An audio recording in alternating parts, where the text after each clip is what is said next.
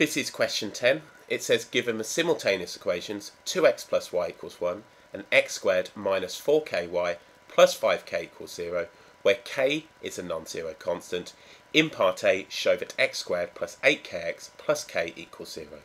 The question carries two marks.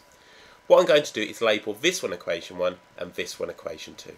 I'm going to rewrite equation 1 as y is equal to 1 minus 2x and simply substitute this in to equation 2.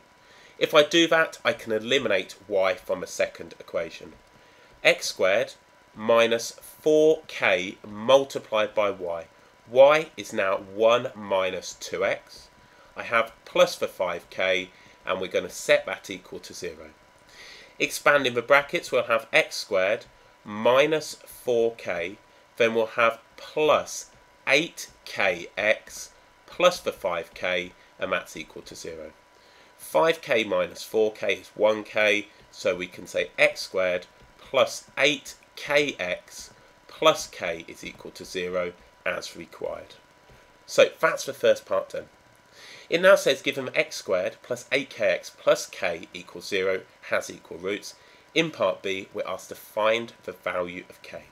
The question carries three marks. I can write now for equal roots.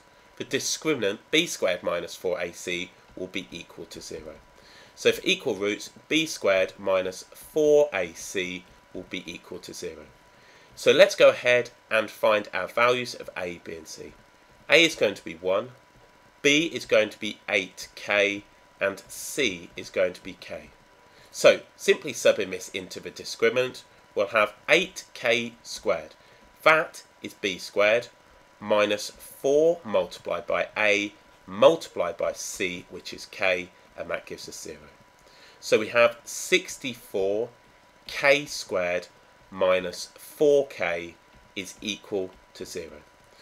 We can factor out here 4k, so if I take out a common factor of 4k, that will leave me 16k minus 1, and we set this equal to 0.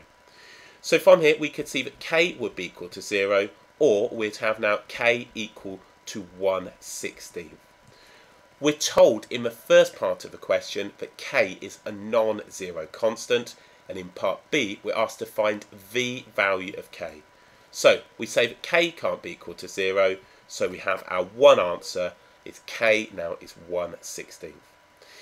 In part C it says for this value of k, find the solutions of the simultaneous equations. So in total now we're offered 3 marks to do this.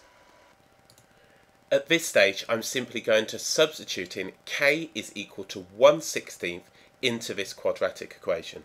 So if we consider now when k is equal to 1 16th, we will have x squared plus 8 multiplied by k, which is going to be the 1 16th, multiplied by x plus 1 16th, and that's equal to 0. If I multiply through the equation by 16, I'll have 16x squared. I'll have plus 8x plus 1 is equal to 0.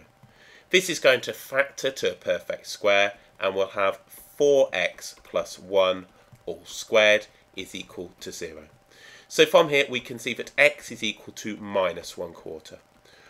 All I need to do now is find y and I can simply sub this in to equation 1 either in this form or this form right here. So we know that y is equal to 1 minus 2 lots of x. So subbing in y will be equal to 1 minus 2 lots of minus 1 quarter and that will give us now y is equal to 3 over 2.